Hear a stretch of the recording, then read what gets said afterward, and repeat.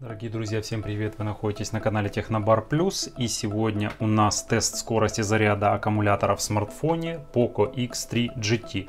Напомню, что данный смартфон у нас идет под управлением процессора Dimensity 1100 от компании MediaTek, имеет смартфон аккумулятор на 5000 мАч, а также комплектное зарядное устройство вот такое на 67 Вт кабель, друзья. А, хотел бы отметить тот нюанс, что не все смартфоны которые имеют разъем Type-C, заряжаются данным зарядным устройством. Например, а, смартфон от компании Samsung Galaxy A72 это зарядное устройство вообще не видит.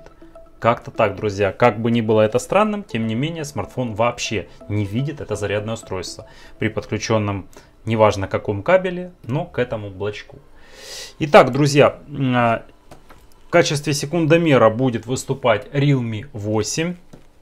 И, собственно, надеюсь, а, что зарядное устройство способно удивить скоростью заряда аккумулятора. Но, друзья, хотелось бы отметить тот нюанс, что а, все-таки при попытке зарядить а, смартфон Redmi Note 10 Pro скорость заряда, к сожалению, не увеличилась, несмотря ни на что. Сейчас мы подключаем непосредственно к розетке наш смартфон через зарядный блочок комплектный. Сразу же, друзья, вам показываю, что смартфон полностью разряжен, дабы вы убедились в этом вместе со мной. Как вы можете видеть, пусто. Собственно, подключаемся.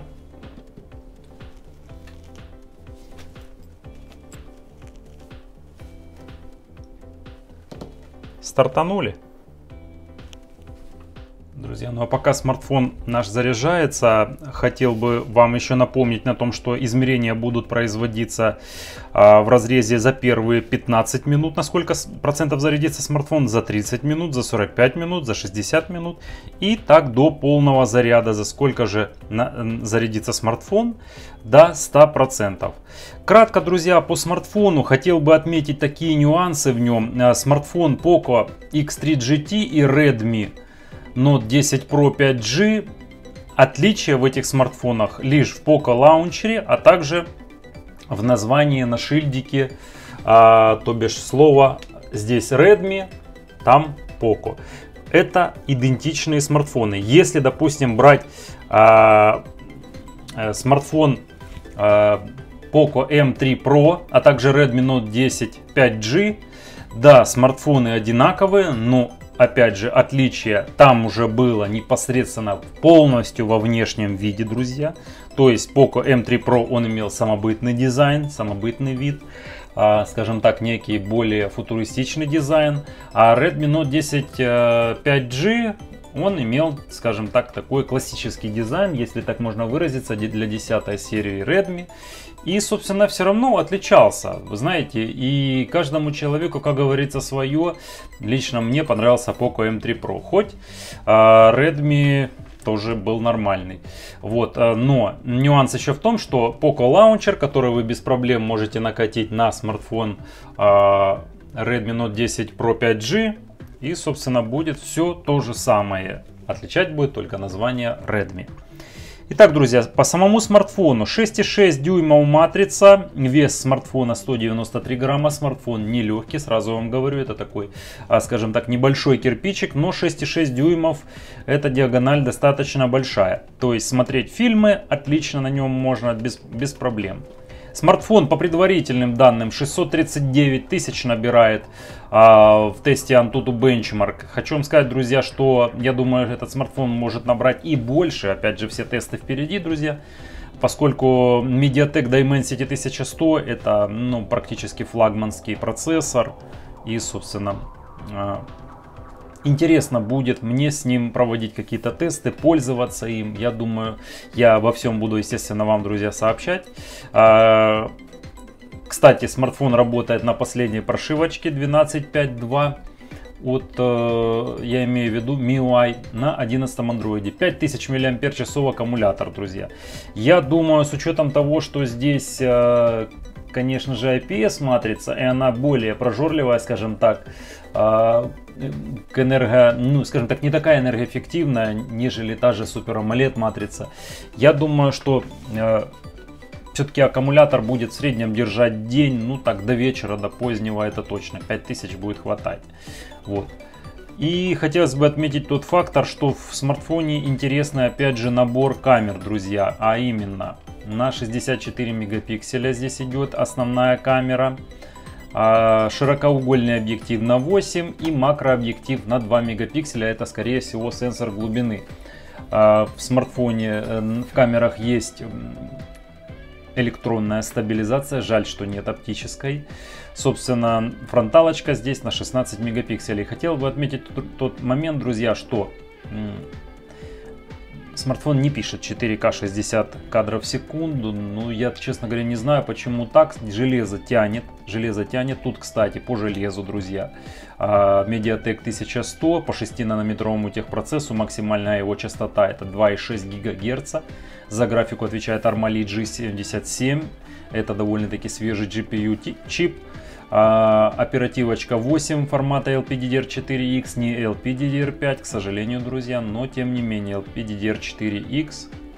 А, форма, а, хранение у нас за хранение память отвечает на 128 гигабайт с формата UFS 3.1. Вот это уже как бы интересно, посвежее. Э, здесь стоит, э, кстати, друзья, вибромоторчик Z-Axis Line мотор 4D вибрация. Посмотрим, насколько тут вибрация. Еще из любопытного, друзья, здесь стоит у нас, э, несмотря на то, что весь смартфон, собственно, вот он пластик идет, а, тем не менее здесь идет э, на над экраном идет уже непосредственно Gorilla Glass Victus. То есть Gorilla Glass 7 Victus. Частота, переменная частота обновления экрана 1 ГГц, частота обновления 120 ГГц, частота дискретизации 240 ГГц, друзья. То есть это говорит о том, что в смартфоне, э, этим смартфоном вы можете спокойно на нем, вернее, поиграть э, без каких-либо затупов, лагов. Тут, кстати, друзья, стереодинамики от компании JBL. А, поддерживается Hi-Res аудио как по, по проводной связи, так и а, по беспроводу. Динамики тут, напомню, стоят а, стереодинамики от компании JBL. И что хотелось бы отметить, друзья, ну, во-первых, этот смартфон еще будет долгое время, долгое время он будет, э, скажем так, а, с запасом производительности его хватит на долгие года. Кстати, друзья, имеются аудиопрофили кодеки IPTX, IPTX HD, LDAC, AAC кодек. Вот.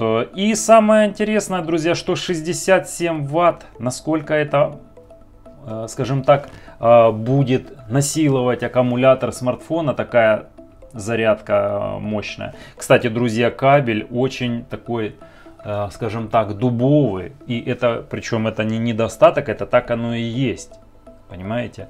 То есть э, вопрос в том, что то есть кабель здесь очень мощный, тут под 67 ватт, собственно, эта зарядка уже как на ноутбуке, друзья, на минуточку, да. Вот. Я думаю, что смартфон будет актуален еще долгие лета, как говорится. Ну, лет на 5 железобетонно его хватит. Поэтому, друзья, если кто-то планирует приобретать, я рекомендую предварительно его приобретать. Посмотрим, чем он нас удивит. Тесты только начинаются, друзья. Как говорится, давайте будем следить.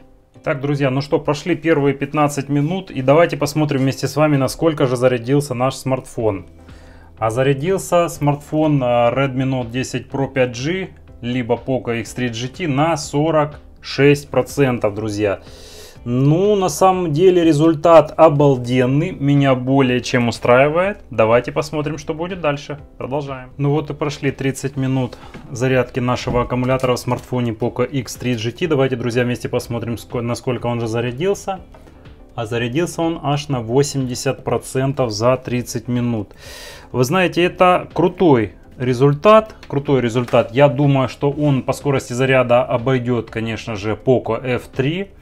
Э, непосредственно последнего, скажем так, рекордсмена э, по скорости зарядки. Ну, будем смотреть, наблюдать.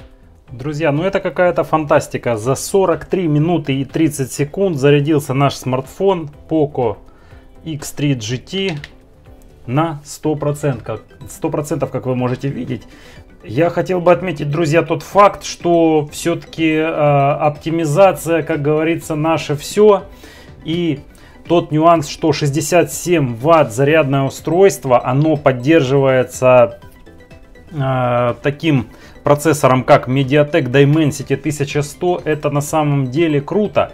Но, друзья, я хотел бы еще все-таки проэкспериментировать на одном смартфоне, а именно на Poco F3, как будет 67 ватт зарядное устройство вести себя с тем смартфоном. Все-таки я думаю, что процессор, который установлен в Poco F3, а, это Snapdragon 870, и я уверен просто, что он должен, в принципе, смартфон э, с, помощью зарядного устройства на 67 ватт намного быстрее зарядить. И я думаю, что все-таки стоит провести этот эксперимент, друзья. Если вы за этот эксперимент, кстати, друзья, поставьте лайк под этим видео, подпишитесь на канал, напишите обязательно свой коммент. Давайте подпишемся по-братски, как говорится. Ну, надеюсь, что будет интересно, друзья. Посмотрим. А, сейчас смартфон, как вы можете видеть, кстати, нюанс такой. Смартфон немножечко глюканул, как вы можете видеть, это тот, который новый Poco X3 GT. Обратите внимание, я его включил, он вроде бы как начал получать уведомления, и после чего э, самостоятельно он не перезагрузился, он просто выключился. Я его сам включил. Ну вот как-то так, друзья, видите, вот и глюк смартфона, и, собственно, скорость зарядки поражает. Друзья, ну это был канал Технобар Плюс. Как обычно, кому понравилось видео, ставим лайк, подписываемся на канал. Всем удачи, всем пока, всех обнял.